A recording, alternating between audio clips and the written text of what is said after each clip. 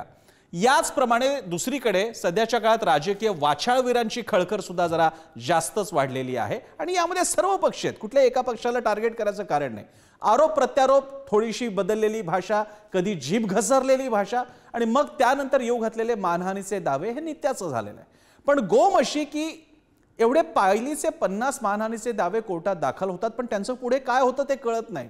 मात्र मेधा किरीट सोमय्या विरुद्ध संजय राऊत या खटल्यात कोर्टानं संजय राऊतांना दोषी ठरवलंय. त्यांना जात मुचलक्यावरती जामीनही घ्यावा लागला. बघूयात या संदर्भातला स्पेशल रिपोर्ट संजय राऊत ठाकरेंच्या शिवसेनेची मुलुख मैदानी तोफ. मात्र हीच तोफ आता त्यांच्या तोंडावाटे निघणाऱ्या बॉम्ब गोळ्यांमुळे पुन्हा अडचणीत आहे. भाजप नेते किरीट सोमय्यांच्या पत्नी मेधा सोमय यांनी दाखल केलेल्या अब्रू नुकसानीच्या खटल्यात संजय राऊतांना न्यायालयानं दोषी ठरवलं. हे प्रकरण काय आहे पाहूया.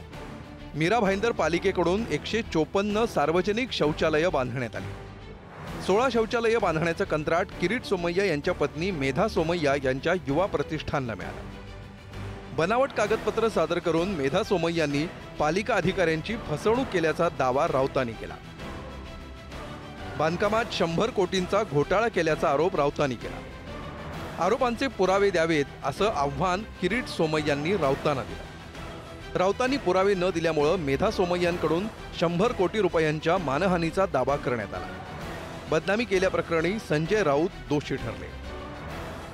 एक आई म्हणून माझ्या मुलावरती माझ्या कुटुंबावरती माझ्या संस्थेवरती जी मी माझ्या मुलाप्रमाणे वाढवलेली आहे त्या संस्थेवरती जर का कोणी डाग लावण्याचा प्रयत्न करत असेल तर मी त्याला सामोरे जाईन.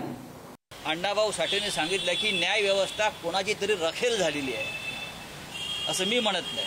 अण्णाभाऊ साठे शाहिरांनी म्हटलं. आहे शिवडी कोर्टानं निकाल देताना संजय राऊत यांना पंधरा दिवसांची कैद सुनावण्यात आली.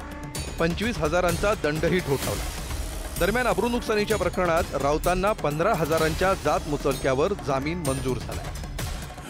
मुळामध्ये संजय राऊत यांनी स्वतःचा आज राजीनामा दिला पाहिजे ही माझी मागणी आहे. आमच्या रश्मीताई ठाकरे या सामना वृत्तपत्राच्या प्रमुख आहेत अशी माझी माहिती आहे. ते संजय राऊत यांना डिच्चू देतील ही माझी अपेक्षा आहे. मला असं वाटतं की आम्ही पण आता त्यांच्या भारतीय जनता पक्षावर केस केली पाहिजे. की नॅचरली करप्ट पार्टी तुम्ही आम्हाला म्हणला. सातत्याने आमच्या नेत्यांवर आरोप केले. ह्याचं उत्तर द्या नाही तर आम्ही डिफॉमेशन करू. सध्याच्या काळात राजकीय वाचाळवीरांची खळखळ जरा जास्तच वाढलेली आहे. त्यातून आरोप प्रत्यारोप मग त्यानंतर येऊ घातलेले मानहानीचे दावे हे नित्याचं झाले पण संजय राऊतांना झालेल्या शिक्षेनं वाचाळवीर खरंच काही धडा घेतील का? सुसंस्कृत राजकारण नजीकच्या काळात पाहायला मिळेल का? असा प्रश्न उपस्थित होतोय. ब्युरो रिपोर्ट पुढारी त्यामुळे खरं तर लोकप्रतिनिधी असतील किंवा संसदेत विधिमंडळात जाणारे असतील त्यांना त्या सदनामध्ये ही नक्कीच इम्युनिटी आहे की तिकडे ते काहीही बोलले तरी त्यांच्यावरती कोणती कारवाई होत नाही बाहेर नाही. बाहेर मात्र तुमच्या प्रत्येक शब्दाला तुम्ही जबाबदार आहात आणि कायदा तुमच्यावरती कारवाई करू शकतो न्यायालय तुमच्यावर कारवाई करू शकतो लोकप्रतिनिधी असलात तरी. आणि याच विषयावर बोलण्यासाठी आपल्यासोबत आहेत वरिष्ठ राजकीय पत्रकार रोहित चंदावरकर आपल्या समवेत आहेत. त्यांच्याकडे आपण जाऊयात. रोहितजी तुमचं स्वागत आहे पुढारी प्राईमवर. माझा प्रश्न आहे की एका अर्थाने या कारवाईने दाखवून दिलेले की तुम्ही अबाउ द लॉ नाही आहात जरी तुम्ही लॉ मेकर असलात तरी. पण माझा प्रश्न तुम्हाला असा आहे निवडणुका तोंडावर असताना मग आरोप कसे करणार? जर का सगळे सिद्ध करावे लागले तर.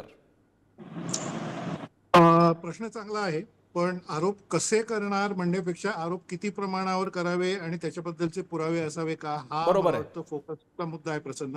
हो. आणि याची मुळं कशात आहे ते मी तुम्हाला थोडंसं सांगतो की सध्याच्या ओव्हरऑल सोशल मीडियाच्या जगामध्ये कुठलीही गोष्ट ही लोकांपर्यंत पसरते ती जास्त करून मोबाईलवरनं पसरते आणि समाज माध्यमांवरची जी ऍप्स आहेत त्याच्यातून पसरते. हो. म्हणजे एक्स जे पूर्वीचं ट्विटर होतं फेसबुक होतं किंवा काहीतरी. हो. तर आप- आपण ऑब्झर्व असं करू शकतो की गेल्या चार पाच वर्षात झालं याचं विशेषतः की काहीतरी सेन्सेशनल जर तुम्ही बोललात काहीतरी. खळबळजनक जर बोललात तर ते जास्त वेगाने व्हायरल होऊन लोकांच्या हातात असलेल्या मोबाईल फोनच्या थ्रू तुम्हाला त्याच्यामध्ये प्रसिद्धी मिळू शकते किंवा तुमचा काय मुद्दा आहे तो जास्त लोकांपर्यंत पोहोचतो बरं. तर त्याचा हा परिणाम असा दिसतोय की खळबळजनक काहीतरी बोलायचं आणि ह्याच्यात मी कुठल्याही नेत्याचं किंवा कुठल्याही पर्टिक्युलर एका विधानाचं किंवा कुठल्याही केस काय जी झाली त्याच्याबद्दलचं वगैरे म्हणत नाहीये. हे मी सगळे पक्ष सगळे नेते यांच्याबद्दल बोलतोय. म्हणजे विशेषतः जे खूप ऍक्टिव्ह बोलण्याच्या संदर्भात असतात ते नेते. सगळ्याच पक्षांचे नेते आणि विविध प्रकारचे नेते. तर ते बोलताना एक बेसिक आपण आता मीडियाचे म्हणजे मी आता काय चौतीस एक वर्ष मीडियात काम करतोय आणि त्याच्या आधी मी जी काही पुणे विद्यापीठातून मीडियाची डिग्री घेतली त्याच्यामध्ये एक महत्त्वाचा भाग असा असतो की तुम्ही ज्या गोष्टी बोलताय त्याच्याबद्दल त्या बोलताना त्याचा इम्पॅक्ट काय होईल किंवा जे लिहिताय त्याचा इम्पॅक्ट काय होईल हे तुम्ही कसं बघा बघावं किंवा त्याच्याबद्दलची काय खबरदारी तुम्ही घ्यावी याचं एक ट्रेनिंग आपण घेतलेलं असतं. तुम्ही सुद्धा घेतलेलं असेल मी सुद्धा घेतलेलं आहे आणि त्याची आपल्याकडे डिग्री आहे. तर यामध्ये ज्या प्रिकॉशन्स आणि ज्या गोष्टी आपल्याला सांगितल्या जातात किंवा कायद्यामधल्या ज्या गोष्टी आहेत त्या शिकवल्या जातात त्यामुळे आपण पुढे वृत्तपत्रात काम करताना किंवा चॅनलमध्ये काम करताना आपण वेगवेगळ्या प्रिकॉशन्स घेत. असतो.